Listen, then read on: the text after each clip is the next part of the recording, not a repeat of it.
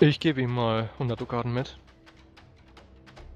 So 100 Dukaten-Äquivalente. In Edelstein, ja. Alles klar. Mhm. Gut, wir fangen einfach mal von oben nach unten an. Alrigio, Abelmir, was möchtest du jetzt tun? Drei ich würde Stunden Zeit. erstmal zum Rollen gehen, gucken, ob ich noch irgendwo eingetragen bin, von dem ich nichts weiß. Äh, wahrscheinlich in allen. Wahrscheinlich in allen. äh, Dann würde ich mich, kann man sich rausstreichen lassen? Du kannst natürlich auch sofort aufgeben. Das hat dir natürlich eben, na gut, deine Arroganz verboten. Ich glaube, du musst da jetzt nicht drauf würfeln. Äh, nach einer Nahtoderfahrung wirst du dich natürlich dann eben auch aus allen rausstreichen lassen können. Werde ich auch machen. Alles klar, gut. Also sowas wie Bogenschießen oder Messerwerfen würde natürlich gehen. Äh, ja. aber naja, es ist halt dir überlassen. Du bist in allen eingetragen, wer auch immer das war. Mit äh, Alriccio den Tangiel, dein äh, ja, Name hier. Steht auch Söldner hinter.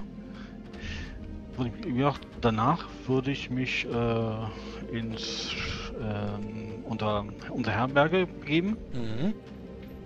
zum Blutkrug Ja. und mich auf meinem Zimmer zurückziehen Mhm. und ähm, erstmal eine, eine, eine Alraune anzünden, anprogeln Ja. Und dann einen Balsam auf mich wirken. Gut, das heißt, äh, du möchtest natürlich erst einmal dich heilen und damit das kein Kotongi mitbekommt, die Alraune. Genau. Gut, dann Für kannst du den, den Balsam würfeln. Äh, Wunden hast du wie gesagt keine mehr. Das war ja durch Teriak und das verbrennende Schicksal, äh, Schicksalspunkte sei das alles äh, gestattet. Du müsstest jetzt eben nur deine LEP auffüllen. Kannst du würfeln. Ähm, ich vermute, du wirst danach wieder zum Turnier dazu stoßen, richtig? Um Jalan äh, zuzujubeln. Genau. Gut, Amenelaos. Das erste, was ich mache, äh, ich möchte gerne einen neuen Sensattack und meinen Stab sprechen. Okay. Äh, selbe Rechnung wie damals. Äh, plus 7, minus 4, minus 1 durch meine Sachen und ja, eine Vierer Erschwernis dadurch, dass es plus 2 auf Stab sprechen ist. Gut, dann bekomme ich, nachdem du ihn gesprochen hast, äh, bekomme ich einmal von dir und auch von Abel mir nochmal 2W6. 2W6 mysteriöse Würfel. Machen wir das erstmal. Dann bezahlt Abel mir 2 ASP mehr für den Balsam. Kannst nochmal W20 hinterher würfeln.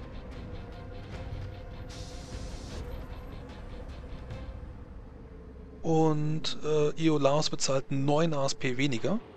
Und einen weiteren W20. Wahrscheinlich ist der dann umsonst. Äh, die plus 4 ignoriere. Ja, ich weiß. Ähm, was tut. Achso, ja, Am- Amanilaus, machen wir da weiter. Du hast den Sensatako im Stab? Ne, muss ihn, muss noch äh, sprechen. Ich spreche, ich suche den gerade da. Ja, ist dran. Ja, die Erschwernis hast du reingetan. Ja, gut, alles klar. Was ist das nächste, was du tust? Danach. Der Sensattack ist jetzt mit einem ASP da drin. Hm, Danach gehe ich jetzt ja, Richtung Akademie. Möchtest du jemanden mitnehmen oder alleine gehen? Möchte mich jemand begleiten? Frage ich einfach mal in die Runde. Wenn du fragst, komme ich mit. Gut, Jerodin kommt mit. Eisenmann? Ich würde Alrico eskortieren, weil er schwer verwundet ist und wir noch immer noch in Jorgomax sind. Gut, dann, äh, ich hatte dich ja noch nicht abgefragt, aber wenn du dann gleich da mitgehen willst, dann kannst du das tun. Kannst du dir dann den Blutkrug ansehen. Noch irgendwas, was du dann bei Alrico tun möchtest? Alricio. Eisenmann. Ähm, nö. Also wenn er mich da rausschickt, während er den Balsam macht, ist mir eigentlich auch egal. Also, Kannst gar zugucken. ja, dann gucke ich mir das an, wie der das macht. Hm? Irgendwelche Gespräche, die ihr noch führen möcht- möchtet, könnt ihr natürlich auch tun.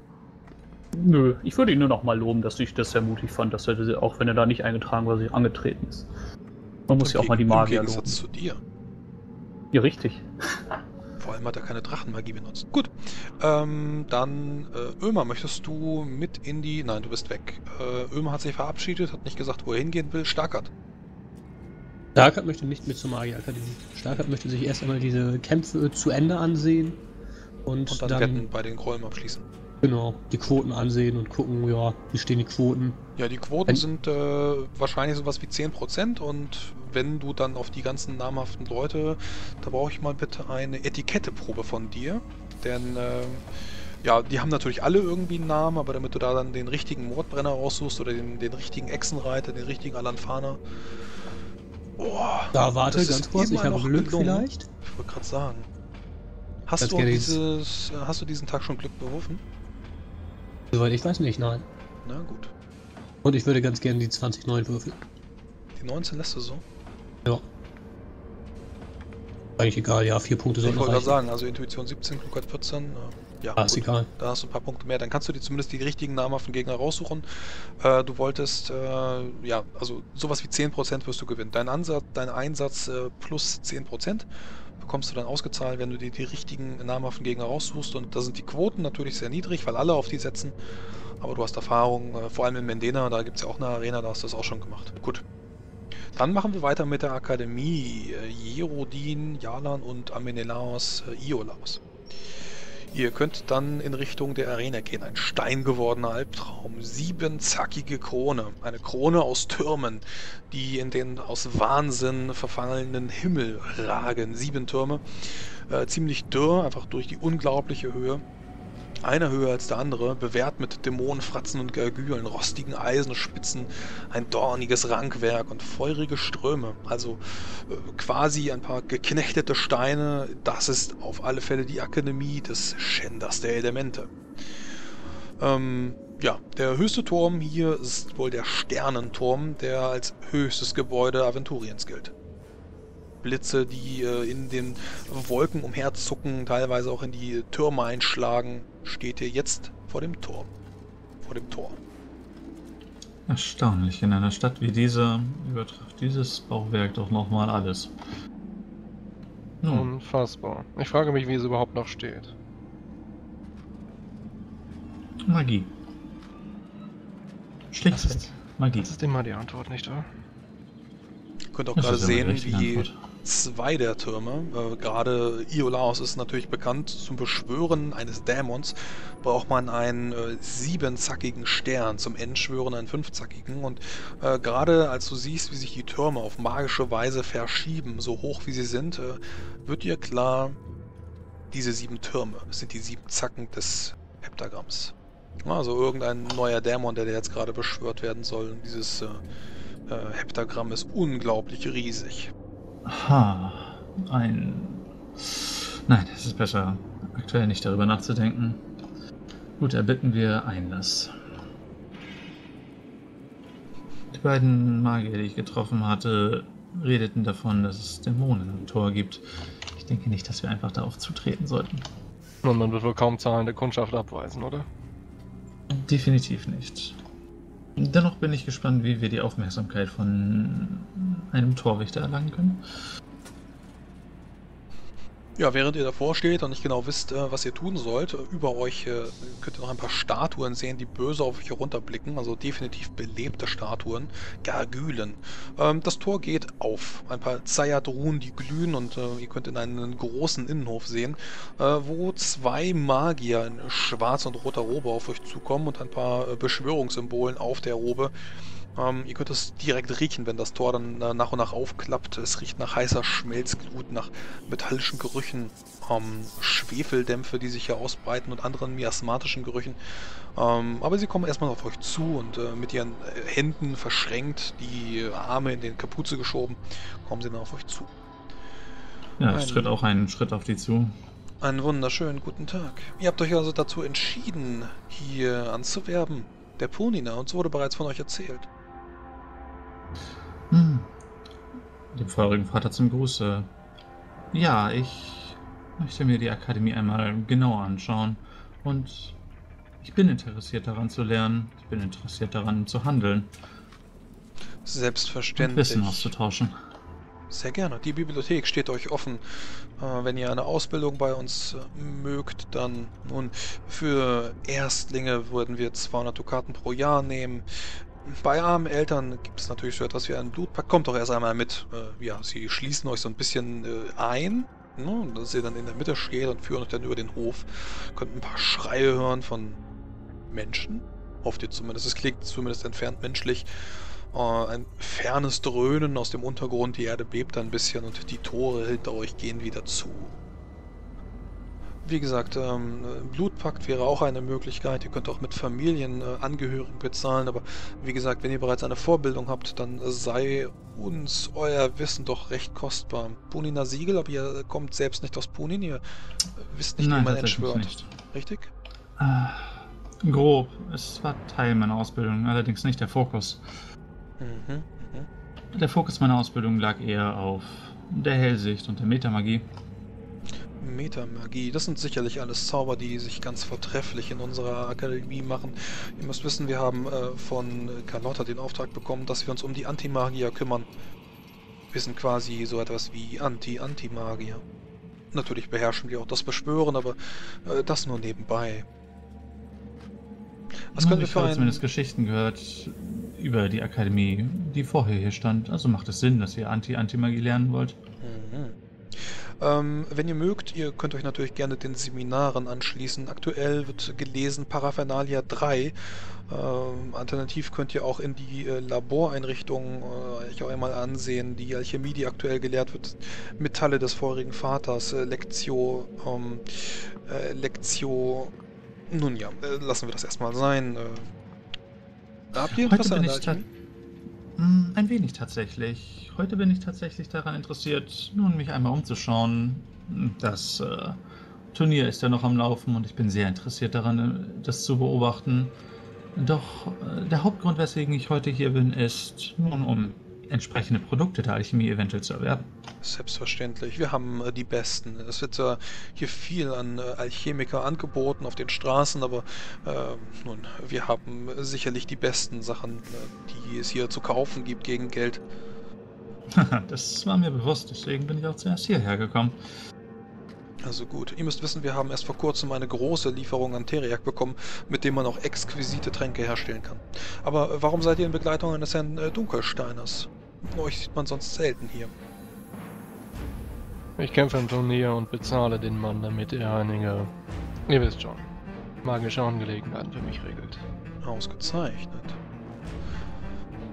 Gut, dann äh, werde ich euch etwas in der Akademie herumführen. Vielen Dank. Steuerung F, die Akademie.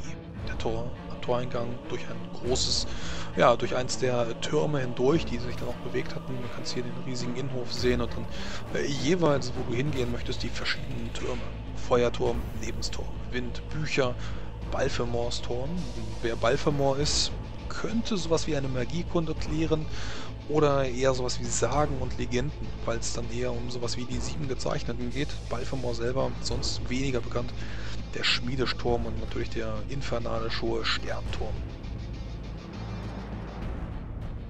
Äh, Jetzt möchte Jalan hier- betrachtet. Möchte Jalan währenddessen irgendwelche Artefakte kaufen?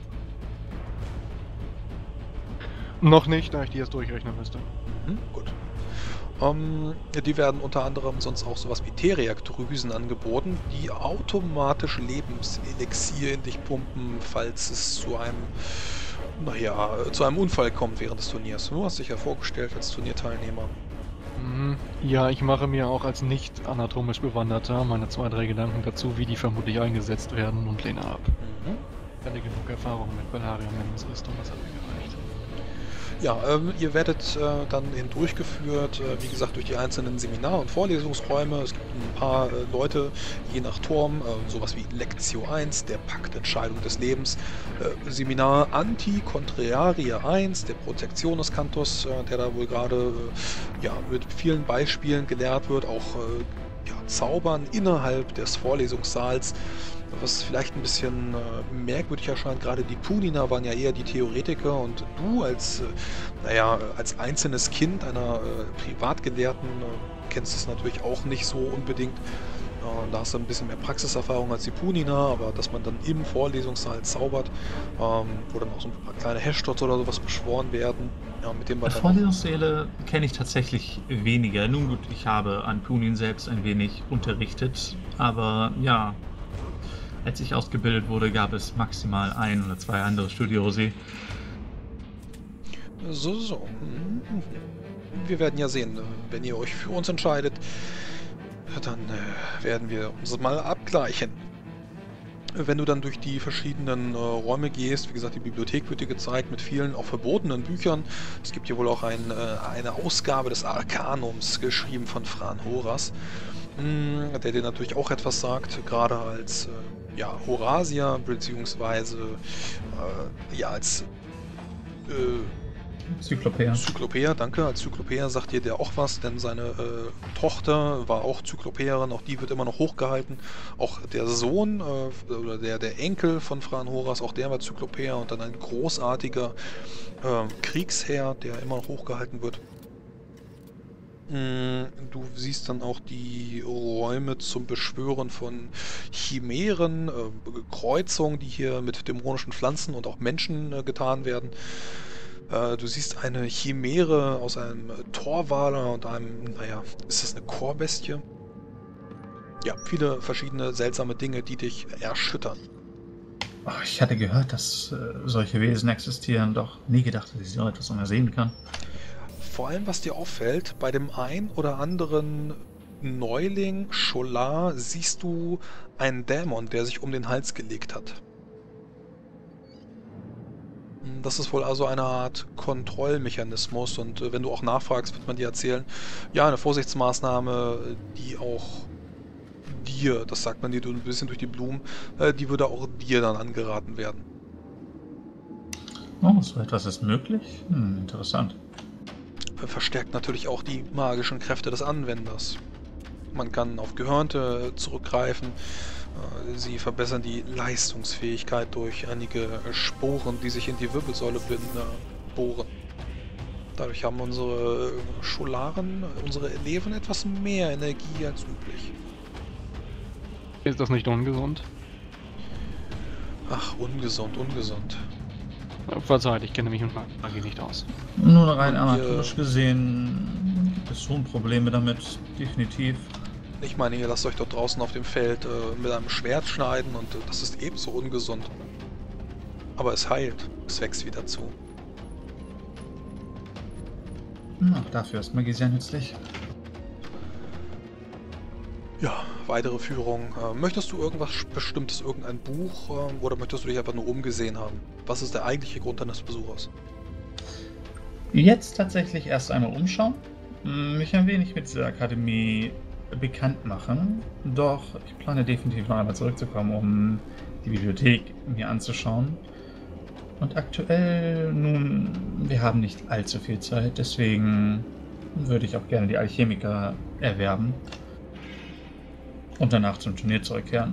Gut. Ich denke, die Führung wird auch eine Weile gedauert haben. Ja, selbstverständlich. Die Akademie ist riesig und nach drei Stunden könnt ihr dann äh, wieder zurückeilen. Um, äh, ja, ist ja wie gesagt ein bisschen nebenan, sind nur ein paar Schritte von der Arena rüber zur Heptagon Akademie. Und so trefft ihr alle nach einem Mittagessen, wie ausgiebig oder nicht, entscheidet ihr selber, wieder zurück zur Arena. Der nächste Kampf der Zweihinder beginnt. Während ihr dann wieder eintrefft ähm, in der Arena, könnt ihr auch sehen, dass wohl eine weitere Prozession ansteht. Es wird heute verstärkt auf die Etikette geachtet und weitere Kriegsgefangene, die dann in die Arena äh, ja, gebracht werden, präsentiert werden. Diesmal handelt es sich nicht um eine Verbrennung, sondern um ja, Gefangene. Unter anderem ist dabei Udalbert von Wertling. Das ist derjenige, den ihr suchen müsst.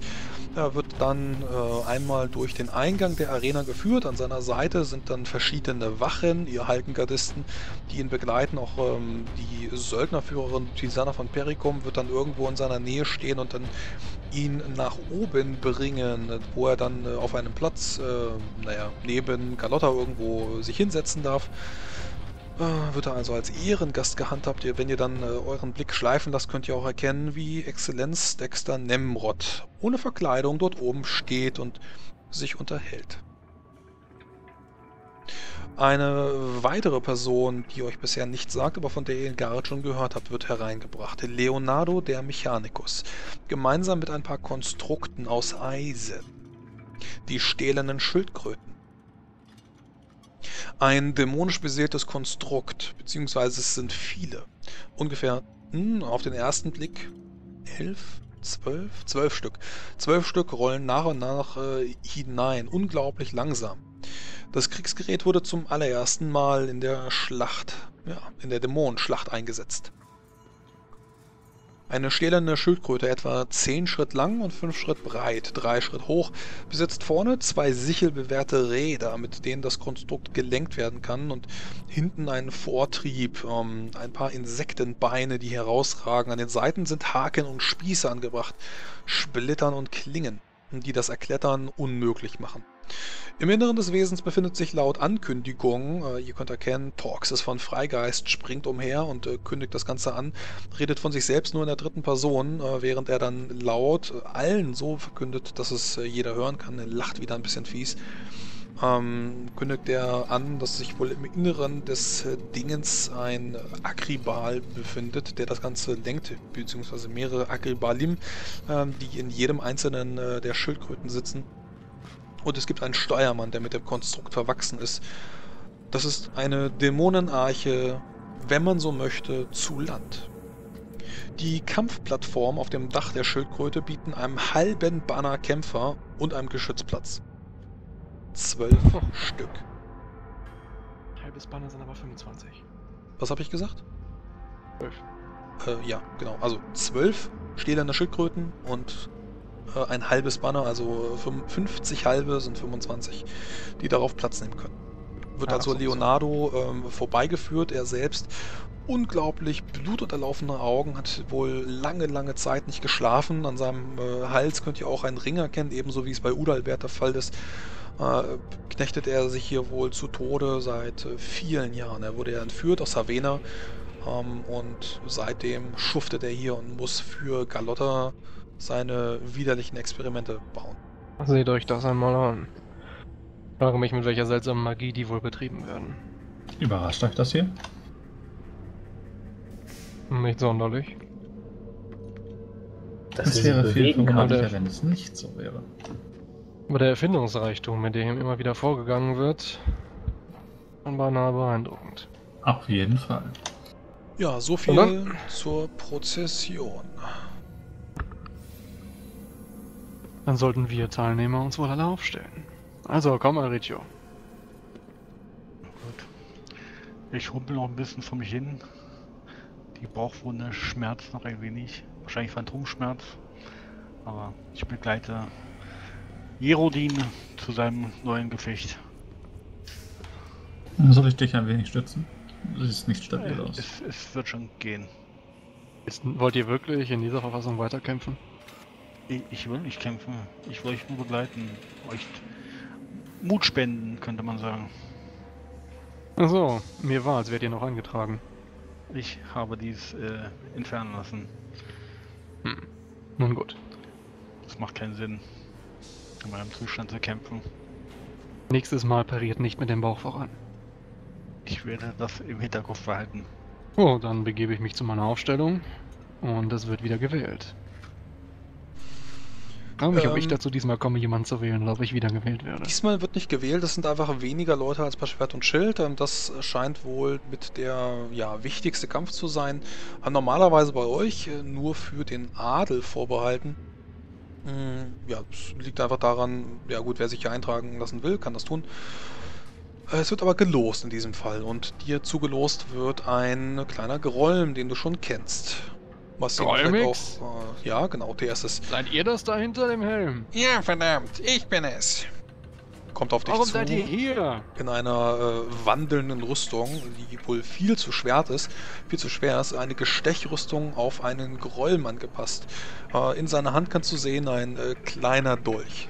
Das ist kein Zweihänder. Ihr könnt doch nicht mal. Ihr könnt doch nicht mal aus aus Schulterhöhe fallen, ohne euch zu verletzen. Warum seid ihr hier? Ihr habt mich doch eintragen lassen.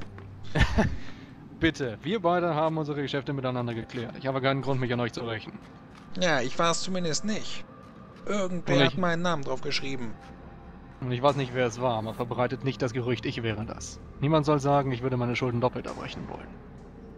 Gut, gut. Tötet mich bitte nicht zu schnell. Ich kann das hier nicht. Ich nehme nur dran teil, damit ich. Äh, nun ja, ich habe gegen mich selbst gewettet. Bring mich, Mm, bring mich wie gesagt nicht um. Und wenn ihr den Kampf gewinnt, wartet auf euch ein hübscher Batzen Gold am anderen Ende. Was? Nein! Ihr müsst gewinnen! Ihr müsst gewinnen. Meine, meine ich ja, Verzeihung. Wie gesagt, ich habe gegen, hab gegen mich selbst gewettet. Und dann? Das ist eigentlich verboten. Also gut, äh, muss ich noch irgendwas sagen?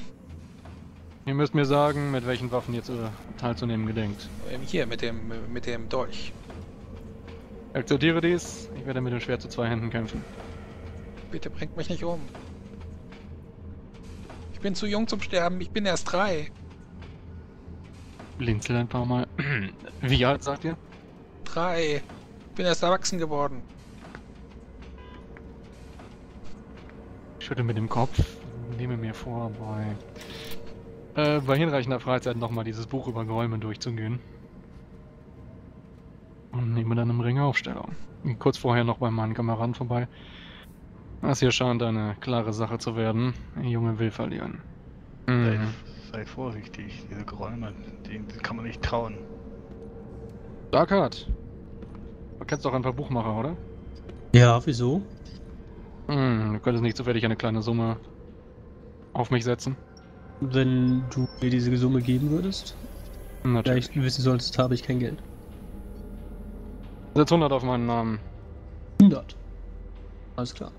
Ähm, Nimm ich mit, Starkart. Alles klar. Und besorg mir eine gute Quote. Ja, ich versuch's.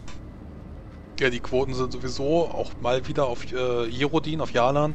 Äh, das heißt, auch da wirst du nur 10% bekommen. Das heißt, wenn du eine Dukate setzt, dann, wenn du gewinnst, bekommst du ein Silber. Immer das 20 Dukaten auf Jalan. Ich habe gehört, dieser Groll soll richtig stark sein. Der, äh, wenn du auf den Grollen setzt, bekommst du 20, äh, also mal 20. Du setzt eine Dukate, bekommst 20 ausgezahlt. Okay, dann setze ich Jalas 100 Karten auf ihn und ein Silber auf den Groll. Gut. Möchte noch Den irgendjemand du Karten mitwetten? haben oder nicht haben. Dann sonst schweige er jetzt. Ömer hatte was Ich gesagt? setze ich setz noch, ich setz noch vier Dukaten auf den Grollen. Vier Dukaten auf den Grollen und wie viel? 20 auf, auf Jalan? Ja. Ja, okay, gut. Dann, äh, nichts geht mehr. Die Wetten sind fest. Der Kampf beginnt. Sie hatte Verplü, nichts geht mehr. Initiative. Initiative. Ja, die nehme ich. Ah, Moment, Kampf. Initiative von 5, äh, 18. Dann ist der Groll als erstes dran. Äh, ja, wie gesagt, er hat ein Ach komm, ich Exoskelett zieh an. vor. Du ziehst vor, gut. Äh, wie gesagt, er, er würde sonst auf dich zuhumpeln, du ziehst vor. Mhm. Wir machen das relativ schnell. Ich mache erstmal einen gezielten Stich. Und dann, wie viel hat er Gesamtrüstung? Äh, seine Gesamtrüstung äh, verrate ich dir gleich. Kannst den gezielten Stich erstmal würfeln. Okay, dann würfel ich ihn mit der normalen Dreier Schwernis und du rechnest dann die halbe Rüstung drauf. Ich könnte maximal äh, 26 Punkte Rüstung durchstechen. 26. Ei. Mhm. Dann äh, versucht er das Ganze zu parieren. Autsch. Ja, dann verrät er auf die 7. Äh, Kein nee, Problem. weil sein äh, Waffenmodifikator ist minus 1. er schafft's. Oh, er schafft's. Er Äh, schafft's. ich mein, mein Groll, Wix, so ein Groll, bisschen. Wix. Ah, dann kann er ein. Äh, ja, du, du stichst zu. Ähm, er.